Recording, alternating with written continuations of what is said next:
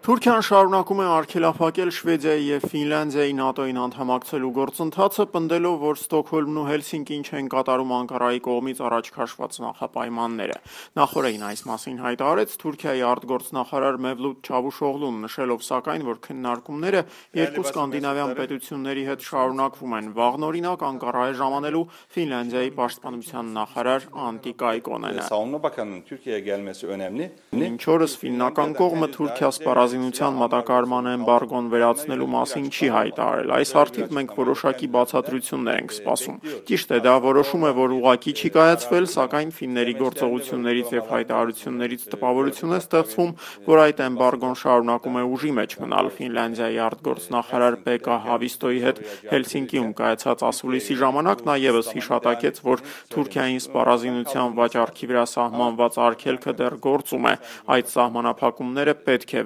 վերացվեն, հայտարարում էր Չավուշօղլուն։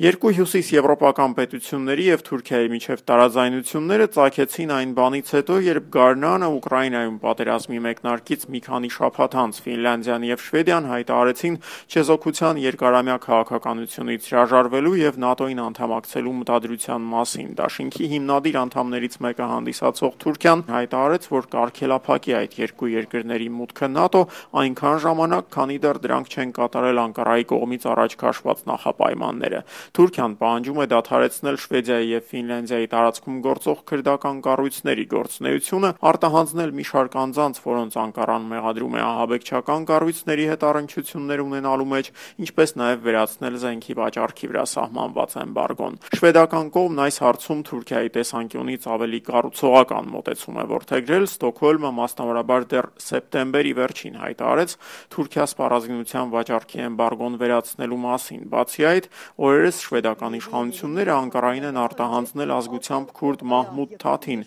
որին թուրքական իշխանությունները մեղադրում են քրդական բանվորական կուսակցության անդամակցելու համար, բայց նույնիսկ Շվեդիայի այս քայլից հետո Անկարայում դժգոհ են։ Biraz önce bahsettiğiniz şahsın Այդ մարդուն Թուրքիային հանձնելու որոշումն իհարկե հաճելի էր, սակայն նա մեր կողմից Շվեդիային ներկայացված արտահանձնման ենթակա մարդկանց ցանկում չէր։ Մեր պահանջն է, որպեսի արտահանձնվեն այդ ցանկում ընդգրկված անձինք, իսկ նրանց ֆինանսական միջոցները սառեցվեն, սրանք լուրջ պահանջներ են, հայտարարում էր Չավուշօղլուն։ orada bulunanların mal varlıklarının dondurulması gibi taleplerimiz ciddi talepler. Ընդհանուր առմամբ Թուրքիան պահանջում է, որպեսզի Շվեդիան արտահանձնի 21, իսկ Ֆինլանդիան 12 հետախուզվող անձանց, պնդելով, որ նրանք սերտ կապեր ունեն կամ քրդական բանվորական կուսակցության, կամ էլ Միացյալ Նահանգներում բնակվող հայտնի իսլամիստ գործիչ Ֆեթուլա Գյուլենի ցանցի հետ։ Վաշինգտոնում հուսով են, որ սկանդինավյան պետություններն ու Թուրքիան սեղմ ժամկետներում կարողանան հաղթահարել արկա տարաձայնությունները, ինչն ըստ պետդեպարտամենտի խոսնակ Նեդ Փրայսի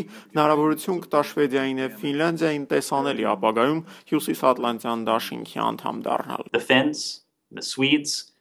Secretary General Stoltenberg. Ֆինները, շվեդերը, ՆԱՏՕ-ի գլխավոր քարտուղար Ստոլտենբերգը շարունակում են բանակցել իրենց թուրք գործընկերների հետ։ Շարունակվում են նաև Շվեդիայի եւ Ֆինլանդիայի բանակցությունները Թուրքիայի հետ այն երակողմ հրճակագրի դրույթների շուրջ, որ ստորագրվել էր այս տարվա հունիսին Մադրիդում եւ վերաբերում էր այդ երկրների անդամակցությանը ՆԱՏՕ-ին։ Մենք համոզված ենք, որ Ֆինլանդիան եւ Շվեդիան շուտով կդառնան Հյուսիսատլանտյան դաշինքի 31-րդ եւ 32-րդ անդամները անցած գիշեր Վաշինգտոնում կայացած ասուլիսի ժամանակ հայտարարում էր պետդեպարտամենտի պաշտոնական ներկայացուցիչ Նեդ Փրայսը։ Վերջում հավելեմ, որ այս պահին Շվեդիայի եւ Ֆինլանդիայի ՆԱՏՕ-ին անդամակցության հայտերը վավերացրել են Դաշինքի անդամ 30 պետություններից 28-ի խորհրդարանները։ Թուրքիայից բացի վավերացումից առայժմ զերծ է մնում Հունգարիան։ Պաշտոնական Բուդապեշտը սակայն ի տարբերություն Թուրքիայի Հելսինկիին եւ Ստոկհոլմին որևէ հրապարակային նախապայման չի ներկայացրել։